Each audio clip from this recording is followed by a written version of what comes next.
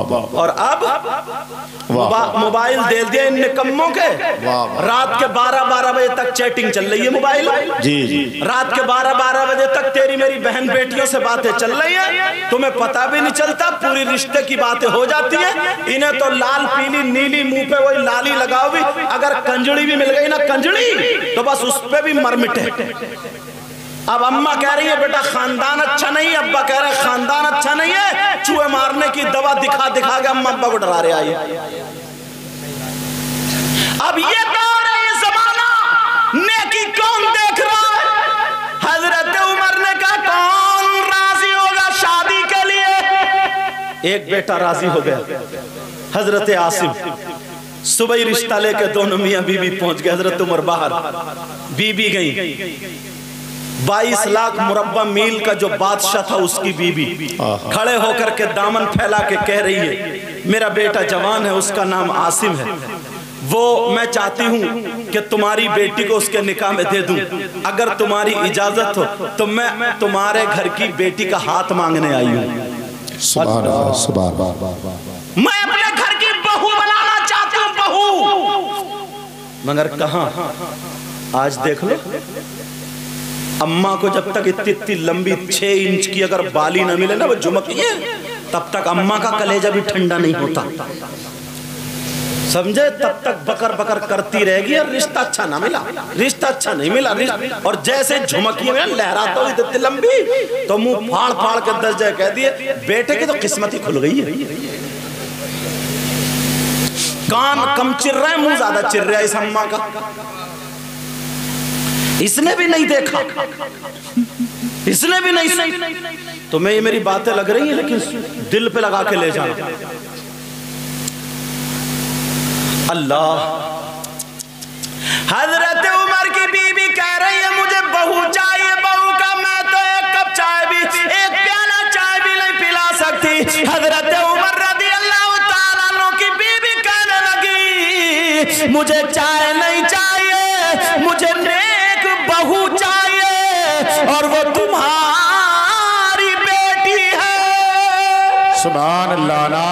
तकबीर।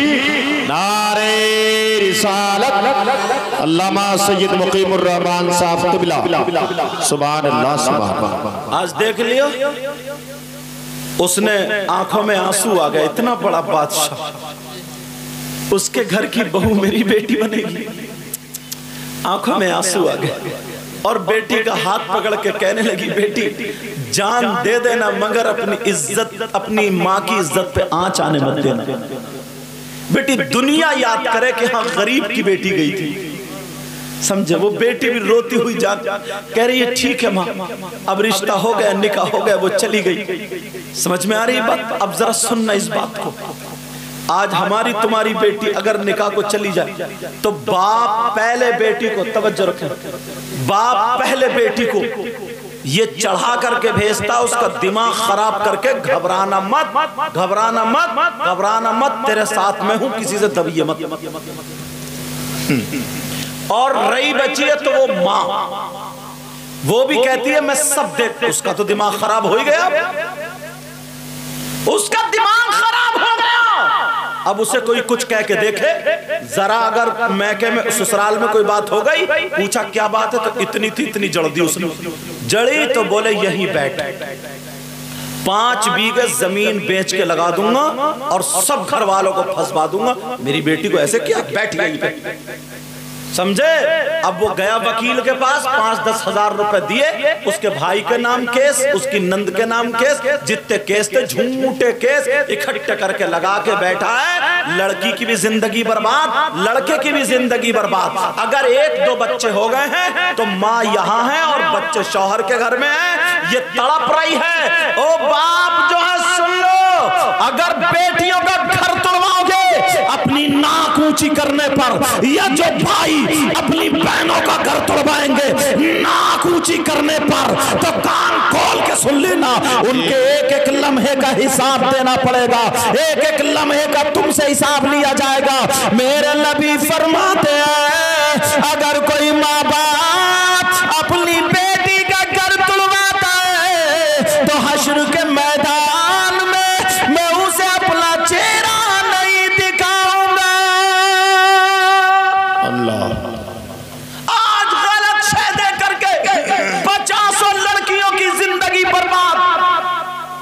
क्या मेरे नबी की बेटी नहीं थी?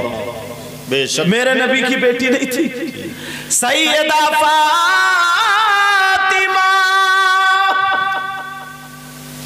हर घर में थोड़ी अनबन हो जाती। एक दिन हो गई। हज़रत अली ने कुछ कह दिया। सैयदा फातिमा ने सोचा मैं कैसे अली को ये बात बताऊँ कि फातिमा को ये बात बुरी लग रही है? अगर मैं कह रही हूँ तो कहीं अली और बुरा ना मान जाए। और अगर किसी और से कहलवा रही हूँ तब भी बात ठीक नहीं किससे कहलवाऊं? सैयदा फातिमा ने सोचा चलो मैं अपने अब्बा से कहलवा दूँ। दुनिया की बात टाल सकते हैं अली मगर मेरे अब्बा की बात नहीं टालेंगे। दिमाग में कुछ और था मगर बात कहाँ चल रही अब देखो। हज़रत अली उधर बैठे खामोश। थोड़ी सी अनबन हो गई।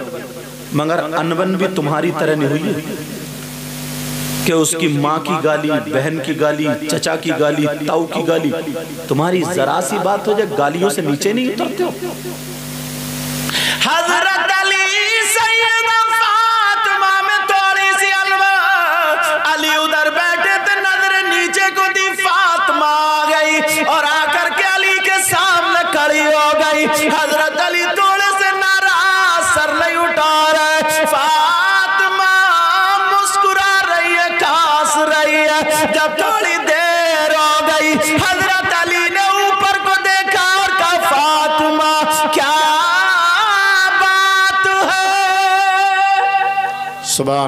फातिमा ने सोचा, ना, चलो दो चार बातें हज़रत अली पे भारी रख दूँ।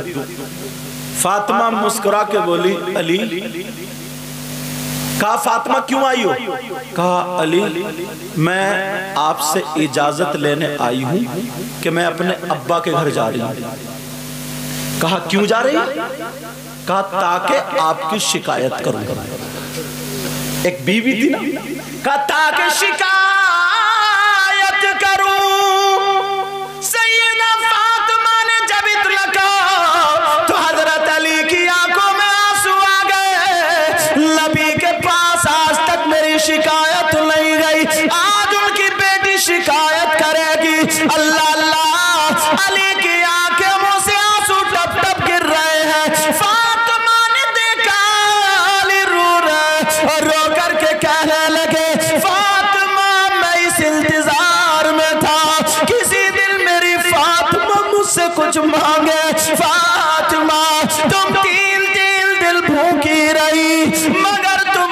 मुझसे कुछ नहीं मांगा।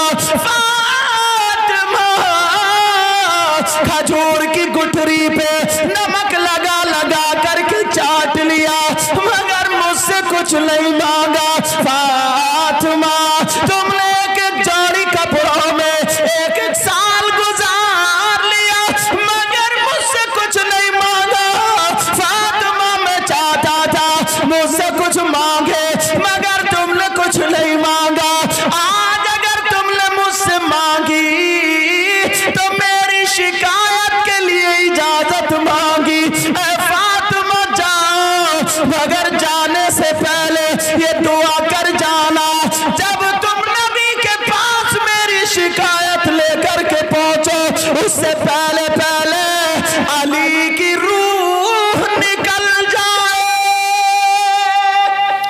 अल्लाह। अल्लाह सैयदा फातिमा ने फ़ौरन बैठी और बैठने के बाद अपने आंचल से अली के आँसू पूछे।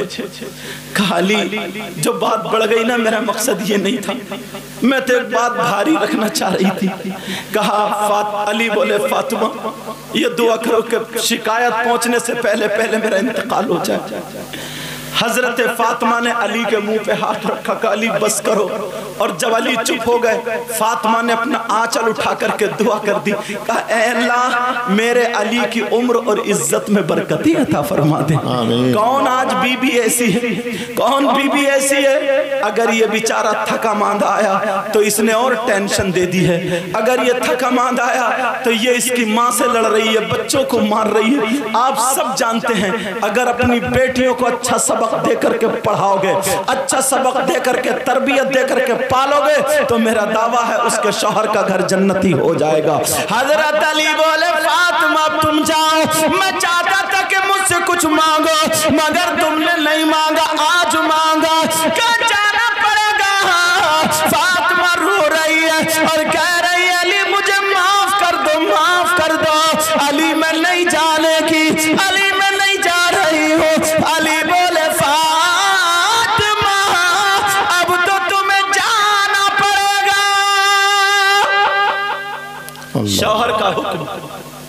शौहर का मर्तबा मालूम? है मेरी बहनें बैठी है तुम भी अपने घर जाके बच्चियों को बता देना।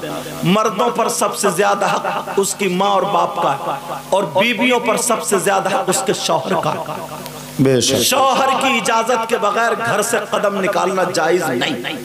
और ये जितनी आई है सब इजाज़त लेके आई होंगी। मजारों पे इजाज़त लेके जा रही है? बाजारों में इजाज़त लेके जा रही है? पागवाड़े का जो बाज़ार लग रहा है, उसे इजाज़त लेके जा रही है? काले बाज़ार में?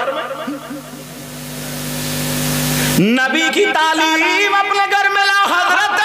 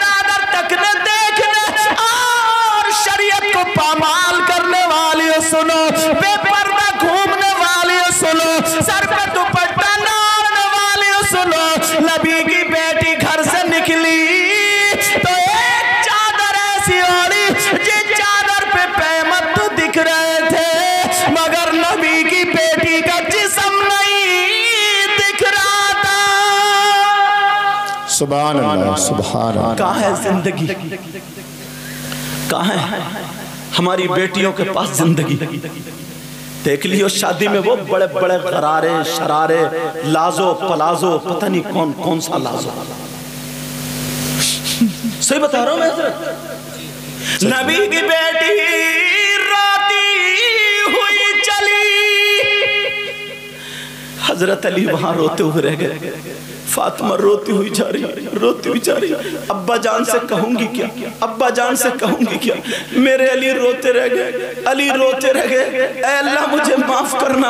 सैयदा फातिमा जब चली, मेरे नबी को पता चल गया।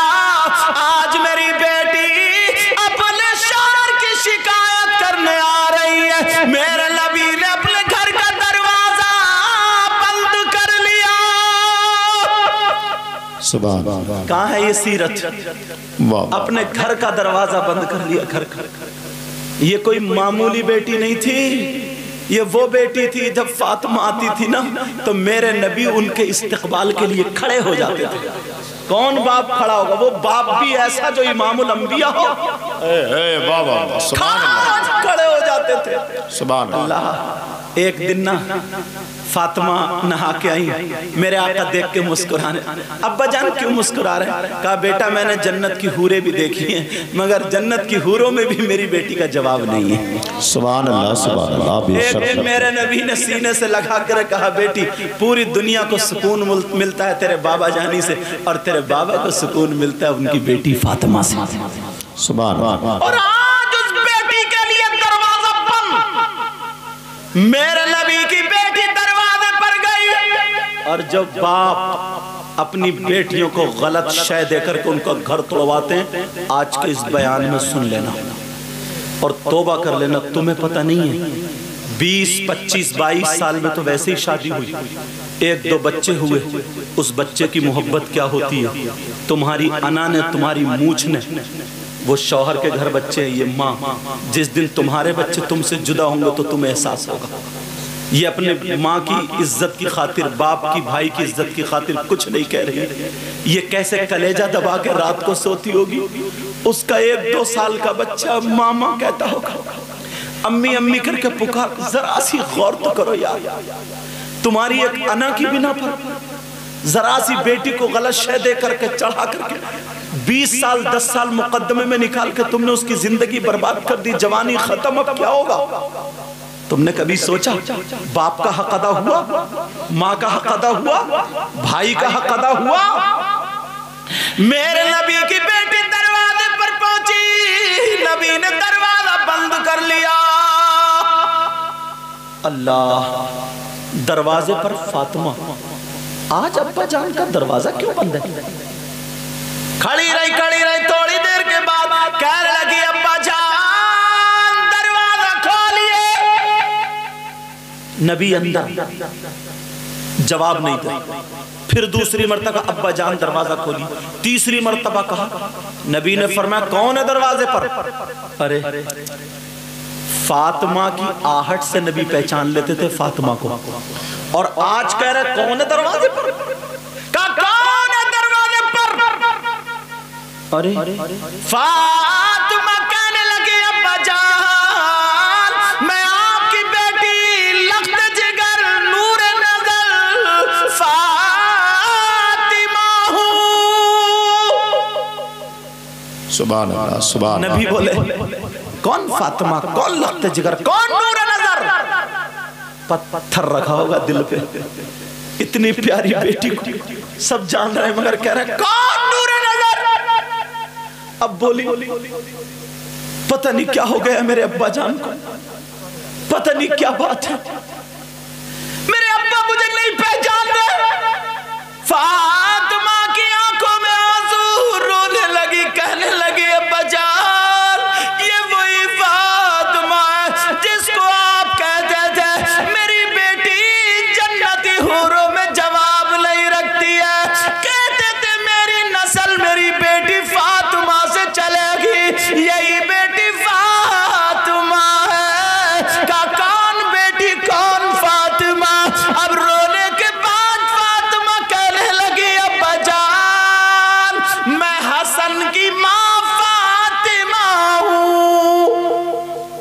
मैं हसन की माँ फातमा तुम्हें इसलिए ये सुना रहा हूँ, बेटी को गलत शय दे करके उसका घर मत तुड़वा देना।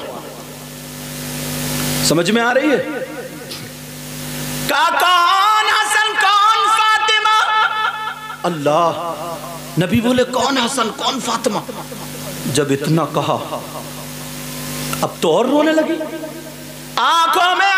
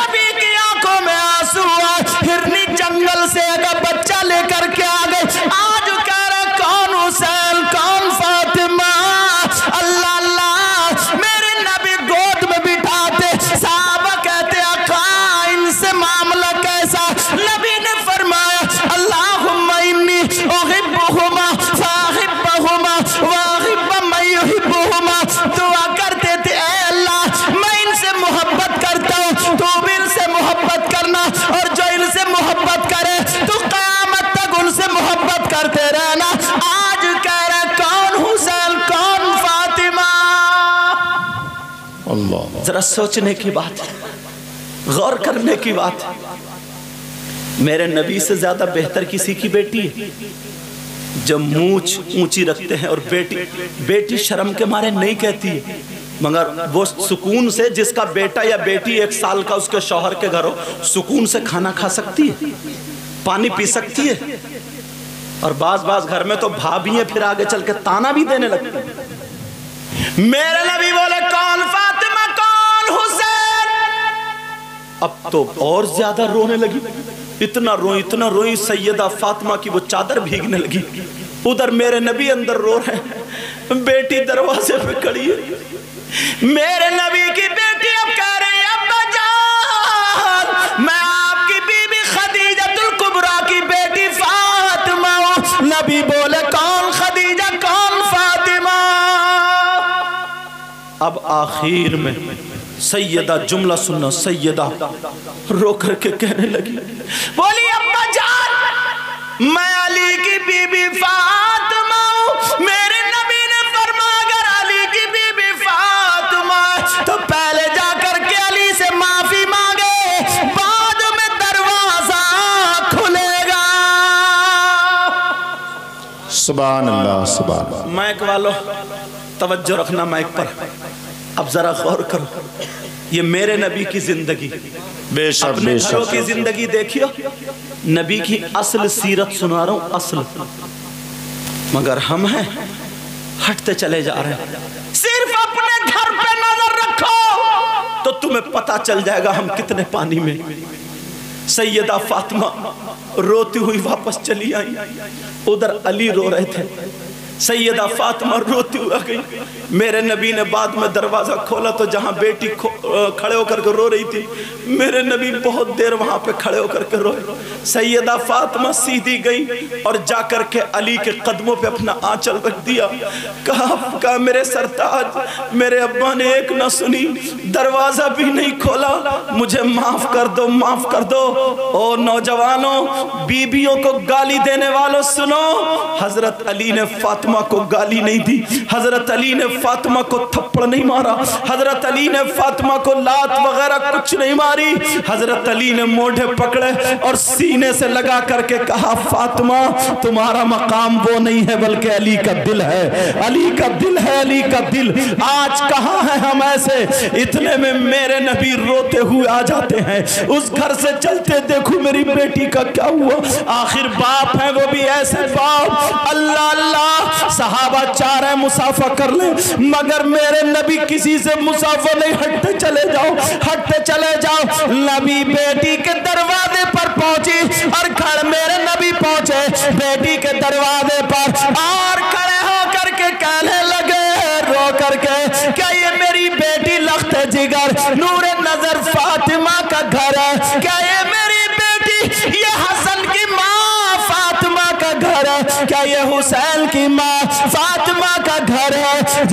जुमले सैयदा फातिमा ने बोले थे, उतने सारे के सारे जुमले नबी ने बोले।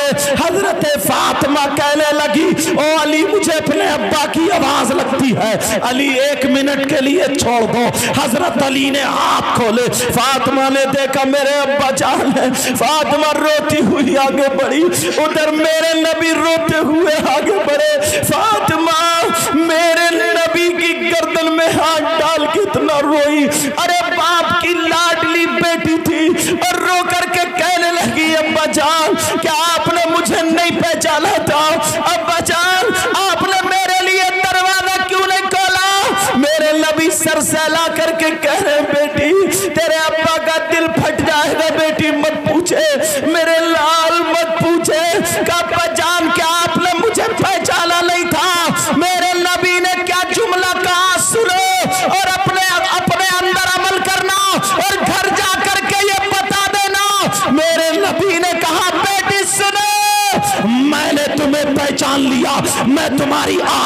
जानता हूँ। मैं तुम्हें सबसे जानता हूँ। मगर मैंने दरवाज़ा इसलिए नहीं खोला।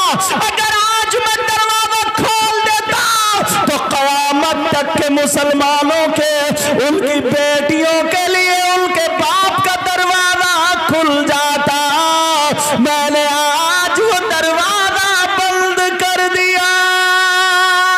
सुभान अल्लाह सुभान अल्लाह, जिंदाबाद, बेशक अपनी बेटी का घर नहीं तोड़वाना। याद रखोगे इस बात को? बोलो, याद रखोगे इस बात को? सब लोग अल्हम्दुलिल्लाह बोलो। इंशाल्लाह बोलो। बोलो, इंशाल्लाह इंशाल्लाह याद रखना। अब वहीं पे चलो। जहाँ तकरीर चल रही थी। और बोलो, खत्म कर दो। क्या इरादा टाइम बताइए हज़रत। दस मिनट दो बजे। एक बज के पचास मिनट। तवज्जो रखना। चलो हाँ ठीक है, बोलता हूँ। अब मैं एक ऐसी हदीस पढ़ रहा हूँ। ये जलसे को नज़र में रखना, अपने आप को नज़र में रखना, अपनी सारी चीज़ों को नज़र में रखना। नेक लोगों का ज़िक्र हमारे कल्ब को रोशन करता है। मगर सुनो, इंसान कितने गुनाह करते हैं? तवज्जो रखना, मैं तमहीद बाँध रहा हूँ। अगर उठक बैठक करोगे तो मैं हट जाऊँगा। कितने गुनाह करता है इंसान? शराब पीना, जुआ खेलना, सट्टा खेलना, तेरी मेरी बहन बेटी, तमाम तर गुनाह। मगर प्यारे सुनो, कितने गुनाहगार लोग हैं। मगर नबी फरमाते हैं, तीन लोग ऐसे भी हैं। कितने लोग बोलो? ऐसे भी हैं जो जलसा करे तो उनका जलसा कबूल नहीं। जलसे में पैसे दें, लें, वो भी कबूल नहीं। नमाज़ पढ़ें, कबूल नहीं। रोज़ा रखें, कबूल नहीं। जक़ात दें, कबूल नहीं। हज करें कबूल नहीं। तकरीर करें, नात पढ़ें, निजामत करें, नारा लगाएँ, बोलें, सुने, कुछ भी कबूल नहीं। कबूल नहीं कितने लोग बोलो, इजाज़त हो तो उन तीनों को खोलूं? हो सकता है हम में से कोई, हो सकता है क्या? कम से कम कम से कम तीस परसेंट लोग इस वक्त हम लोगों में से हैं। आप कहोगे कैसे? मैं हदीस पढ़ूँगा मेरा मतलब मैं नहीं जानता हूँ तुमने कितने गुना किए। आप नहीं जानते मैंने कितने गुना किए मगर हर एक को पता है मैंने कौन सा अच्छा काम किया कौन सा बुरा काम किया। मेरा मतलब है हदीस पढ़ना चाहे वो मौलाना हो या आप हो। नबी फरमाते सला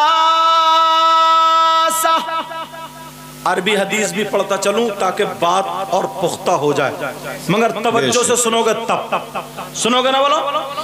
नबी फरमाते सला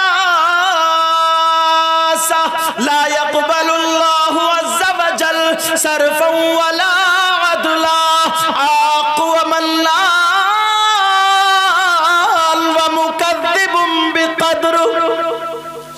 अल्लाह आका फरमाते तीन तरह के लोग कितनी मेहनत से इन्होंने हज़रत अल्लामा तनवीर साहब ने मेरी तारीख ली कितनी मेहनत से।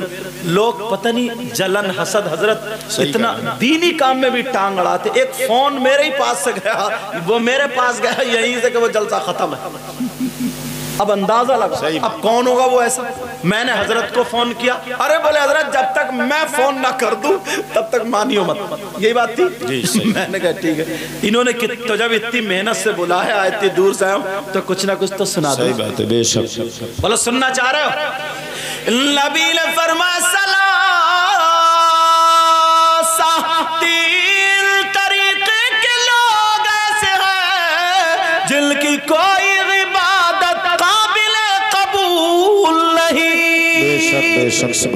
मुफ्ती साहब अल्लामा शाहिद साहब किबला बैठे सही बात अगर कोई शराब पी ले थोड़ी देर के लिए मान लो। बहुत बड़ा गुना बहुत बड़ा गुना बहुत बड़ा गुना शराब पी ले शराब पीने के बाद वो नशे से बाहर आ जाए। नशा उतर जाए उसके कपड़े पाक साफ़ हो शराइत नमाज़ पाए जाए। अब वो वज़ू बना करके मस्जिद में जाकर के नमाज़ पढ़े शरान उसकी नमाज़ हो जाएगी। समझ रहे? कोई चोरी कर ले, अल्लाह ना करे, कोई करे। चोरी मत करियो। मान लो अगर किसी ने चोरी कर ली, बहुत बड़ा गुना बहुत बड़ा गुना बहुत बड़ा गुना बहुत बड़ा गुना मगर पाक साफ़ है, कपड़े साफ़ सुथरे हैं शराइत नमाज़ पाए जा रहे हैं, मस्जिद में जाकर के नमाज़ पढ़े, शरान उसकी नमाज़ हो जाएगी। मगर ये कौन सा ऐसा गुना अगर लम वो गुना कर ले, फिर नमाज़ पढ़े तो नमाज़ कबूल नहीं। ढूंढो कौन है? मैं बताता हूँ आज। अब फिर अपने गिरबान में छांटना। झाँक करके देखना। अगर नमाज़ पढ़े तो नमाज़ कबूल नहीं, रोज़े रखे रोज़े कबूल नहीं। और वो भी मेरी नहीं, नबी की बात है। नबी फरमाते सला ला यक़बलुल्लाहु अज़्ज़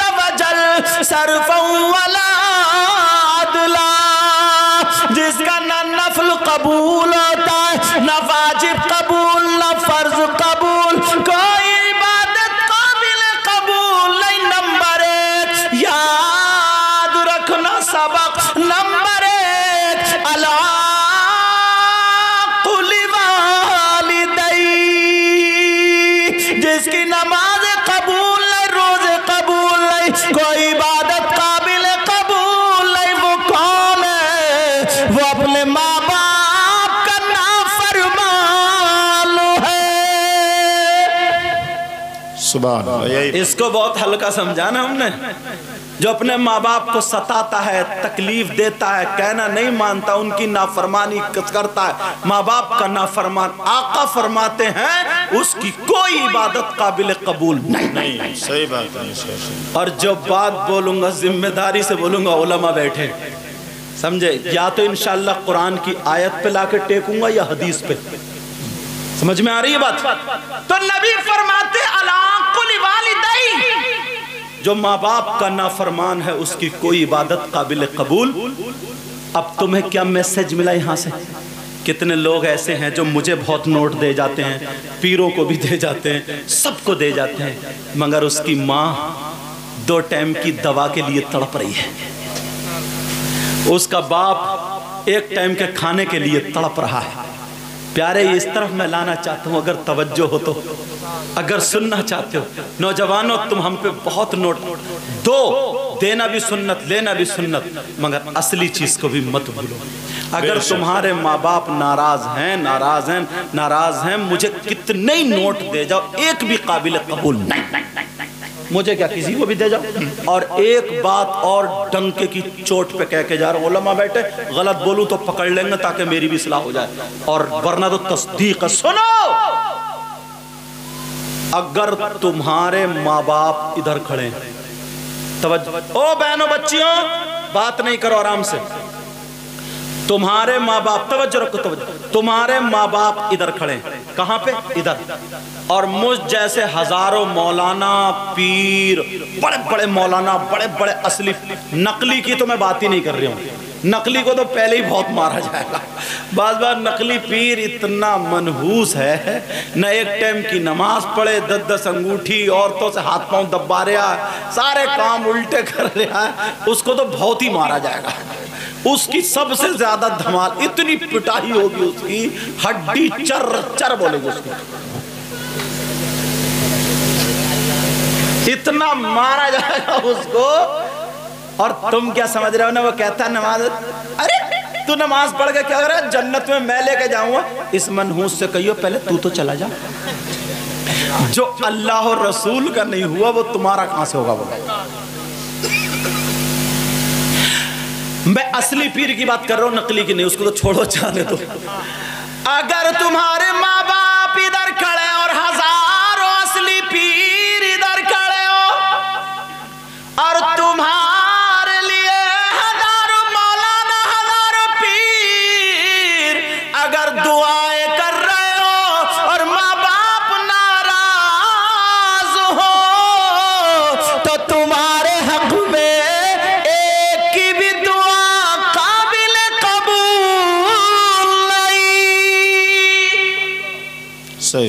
समझ में तो आ रही होगी ना? वाह वाह जहन में रखना है एक एक बात क्लियर करके जाऊँगा।